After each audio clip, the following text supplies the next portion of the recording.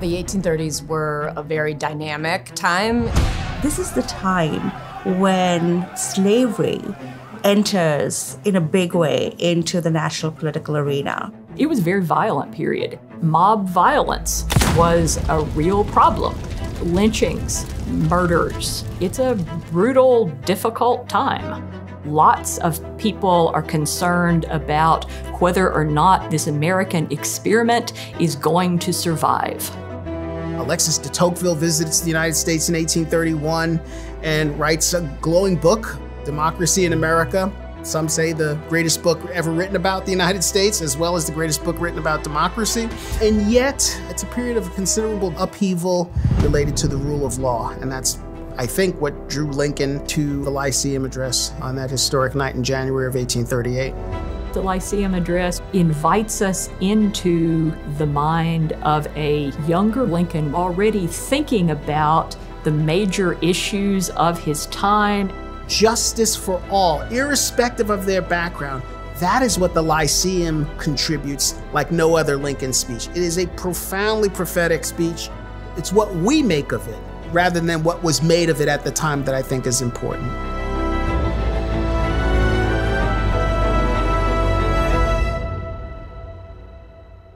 Abraham Lincoln was a self educated lawyer. He was extremely ambitious. He was very well read.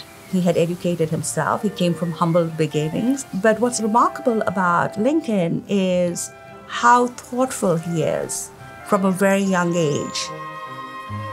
He moves from New Salem to Springfield, which becomes the capital of Illinois in 1837. Ultimately, he becomes an attorney and a state official, and that is the beginnings of his early political career right there in Springfield.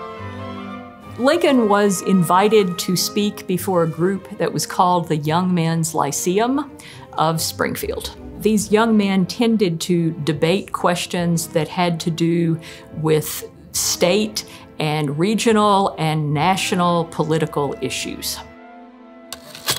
The word lyceum is from the Greek. It was the name of Aristotle's school. A lyceum is what we would call today a public lecture or an educational institution. Lyceums today might be something akin to your local library hosting guest speakers these organizations were seen to be fun. You could do well, you could do not so well. Lyceums were forums for the expression of democratic values and the virtues of what it means to be an American, how to be a good American, how to be a good person. And so the topics of the day were discussed there in a public setting. So Lincoln is invited to give this speech at the Lyceum. And for his topic, he chooses the perpetuation of our political institutions. He does that because he sees American democracy under attack because of the rise of mob violence over the issue of slavery. Lincoln, in his Lyceum address, mentions three series of murders, the first of which occur in 1835. There had been a pamphlet circulated suggesting that there was going to be a slave insurrection throughout the state of Mississippi.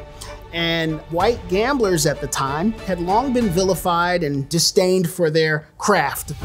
The fears stirred by this would be fanciful insurrection were directed towards them because these white gamblers were somehow responsible for helping and aiding and abetting this prospective black insurrection in Mississippi. Well, that wasn't true, but they were linked to it. So many people were hanged black people, white people, they just hanged them without any due process of law for being suspected slave rebels or assisting slave rebellion. Lincoln says they've left them hanging on the trees of Mississippi like the Spanish moss. And then we have the killing of the white abolitionist Elijah Lovejoy, who wrote very vehemently and increasingly so against slavery, but also condemned in harsh language the burning of Francis McIntosh, a free black man in St. Louis. Lovejoy was forced to leave St. Louis and set up his print shop in Alton, Illinois, southern part of Illinois, a free state. Nevertheless, he was tracked down and months later killed there in his printing press, famously thrown into the river. Each of these events Lincoln highlights and I think importantly links them together as part of this abandonment of what Washington and others hoped for in this country, which is if someone is guilty, there's a process. We go through a judicial process. We don't just string people up on trees or shoot them or burn them. He goes on to explain why recourse to the rule of law and to the courts is the thing that can hold Americans together amid all of these disagreements and differences, that that's all we have. And Lincoln is not pro slavery by any stretch of the imagination. He is definitely anti slavery in sentiment. You can see that right from the start of his political career in the resolutions of the Illinois legislature of 1837 against abolitionists that he protests against. That's taking a political risk. Abolitionists are not popular. They're being attacked by people who are part of the status quo. Lincoln saw this as the giving up to the passions rather than reason. Sober reason must be our salvation. Otherwise, we're going to fall prey to these passions that will lead the nation to commit what he calls suicide.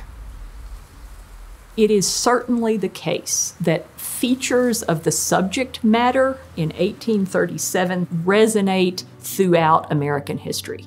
There are many moments of extreme violence. There are many moments of racially motivated violence. There are moments of mob violence. There are worries and concerns about the longevity of our democracy, the health of our democracy. Those themes and topics recur. So, looking at the way Lincoln and others of his time were grappling with these questions, it can help us think through our own present moment. One of the things that Lyceum activity did encourage was thoughtful reflection, debate, listening to others.